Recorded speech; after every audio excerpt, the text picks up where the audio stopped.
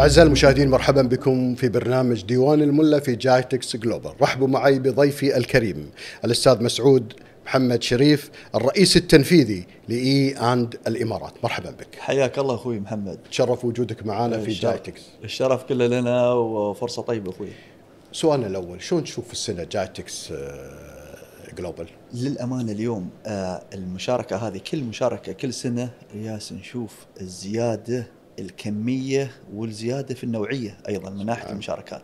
لها الحمد الارقام سمعناها سنة أرقام مهولة من ناحية عدد صحيح. المشاركين تقريبا 90 ألف مشارك بشكل يومي. اليوم هذا فعلا GITEX Global عالمي ينافس أكبر آه، مؤتمرات التكنولوجيا العالمية. صدقت. ونحن فخورين بهذا الشيء. واليوم آه، إي آند الإمارات أو أو كنا نسميه e& اتصالات e& جزء لا يتجزأ من هذه المنظومة، دائما مشاركتنا كل سنة من على مدى سنين دائما نأكد إن موجودين ونقدم آه، أحدث ما هو موجود في السوق اليوم والأشياء المستقبلية اللي بتجينا إن شاء الله. ممتاز.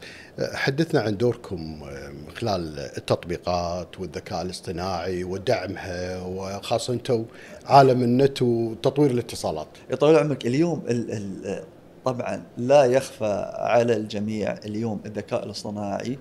وشو ممكن الذكاء الاصطناعي يرجع علينا بالمنفعة؟ مستقبلا هذا شيء مفروغ منه وحديث القطاع مش فقط قطاع الاتصالات وقطاع التكنولوجيا حديث شتى القطاعات. نحن ركزنا على الموضوع هذا وبشكل كبير وقاعدين نطبق وناخذ آه، نسميه تطبيقات الذكاء الاصطناعي نعم. على العمل المؤسسي داخل المؤسسة.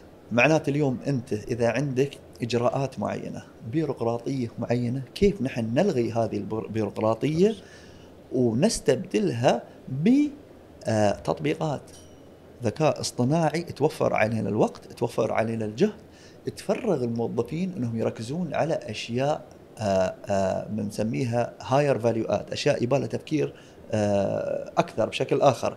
تطبيقات موجودة في مجال المحاسبة المالية في مجال خدمة العملاء. اليوم عندنا اليوم خدمة العملاء تطبيقات تستخدم للتعرف اللي نسميه image image processing بحيث إذا عندك مشكلة في البيت اليوم وأنت تتواصل مع العميل خذنا خدمة موافق عليها إن العميل يعطيك موافقة تعمل video broadcast للمشكلة من البيت. برنامج الذكاء الصناعي يتعرف على المشكلة من خلال الصورة ويعطيك التحليل الصحيح للمستخدم كيف يحله بدل ما يكون الكلام شفهي. استخدامات كثيرة جدا. اليوم نحن فعلا حاطين جهدنا الجهيد عندك برنامج آه، الخريجين الذكاء الاصطناعي. 100 ل 150 موظف ينضمون سنويا هذا البرنامج. اليوم معظم الموظفين ينضمون إلينا من آه، قاعدة ال ال ال ال الهرم اللي هم الخريجين الجداد برنامج الذكاء الاصطناعي ليش؟ هذا اللي بيبون الفكر الجديد. بيبون الأفكار الجديدة اللي هي فع- فعلا ممكن تمكننا نستغل هاي التكنولوجيا أعلى وأفضل استغلال. هالعمل والمجهود الكبير يمكن يبي له بنية تحتية متكاملة أكيد تجدد تطور لأن اليوم الحكومة الرقمية أو الرقمنه اللي قاعد نشوف الذكاء الاصطناعي تعتمد على النت على حجم الاتصالات نعم. التوسع اللي قاعد نشوفه الآن الكبير في دولة الإمارات وخاصة دبي توسع في كل المجال تجهيز البنية التحتية لعملية آه، النت واللو 100% كلام سليم ويعني اليوم لله الحمد بدعم القيادة الرشيدة اليوم عندك قطاع الاتصالات في الدولة وإي آند كلاعب إي آند الإمارات كلاعب أساسي في قطاع الاتصالات في الدولة اليوم الاستثمار في البنية التح- التحتية تم من سنين. لله الحمد اليوم بحسب تصنيف أوكلا وهي هيئة مستقلة لتصنيف السرعات لكافة مشغلين آه، قطاع الاتصالات بالعالم دولة الإمارات حققت المركز الأول بنس في سرعة الإنترنت عالميا ودولة الإمارات حققت المركز الأول بنسبة سرعة الموبايل عالميا. ولأول مرة في تصنيف هذه المؤسسة المستقلة أن دولة تاخذ المركز الأول في المساقين هذيلا مع بعض. ما صارت.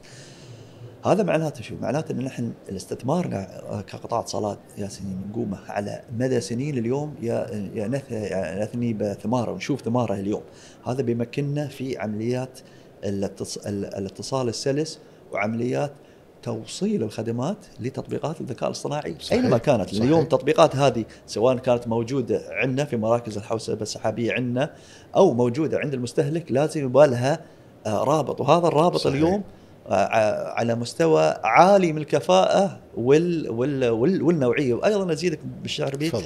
دوله الامارات الحمد لله حققت والمدى ست سنين متتاليات المركز الأول في نفاذ شبكة الألياف البصرية للمنازل. ما شاء الله. تغطية النفاذ الألياف البصرية للمنازل في الدولة 99.3% واي عند الامارات لاعب أساسي في هذا المجال خصوصا مجال ال- الألياف البصرية اليوم.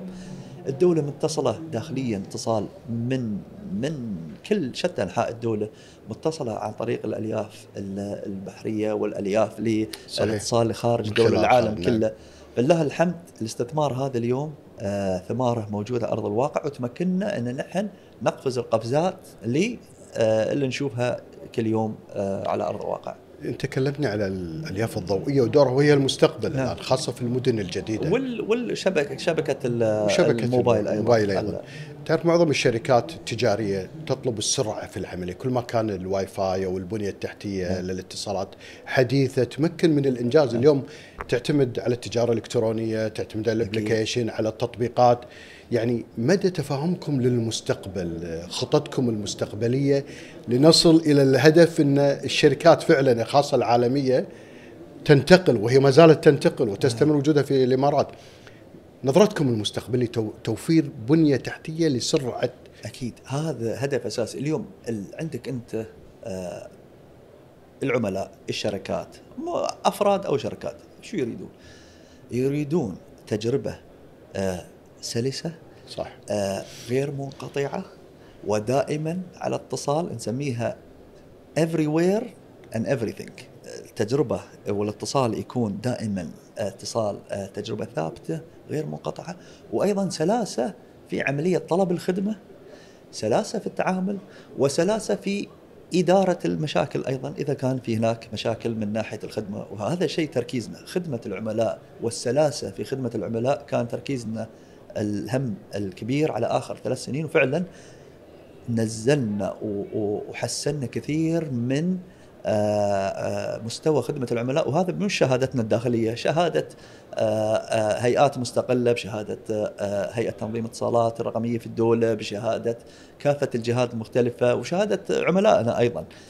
وأيضا ال- ال- الكفرج اليوم التغطية. اليوم نغطي الدولة بشبكة بتقنية الجيل الخامس الموبايل 99.3% النفاذ الألياف البصرية 99.5% كل ها التغطية الشاملة لانحاء الدولة التعامل السلس السريع التط... اليوم أنت إذا بغيت تبدي أي خدمة موجودة على التطبيق. مش مو ما في أي داعي إن تترك تترك بيتك ولا مكتبك. ومن التطبيق أنت تشترك. أسهل مثال. اليوم بدينا خدمة في كافة مطارات الدولة. لله الحمد. خدمة اللي هي اليوم تسوي download تعمل download. تنزل. الباركود نعم. وتنزل من خلال التعريف البصمة بصمة الوجه 45 ثانية يكون عندك اي سم نزل. تخيل في أي دولة في العالم اليوم 45 ثانية يكون عندك رقم محدد. وحسب ال- الأعراف والقوانين آه، المطبقة في دولة الإمارات العربية المتحدة. وبحد ذاته هذا إنجاز.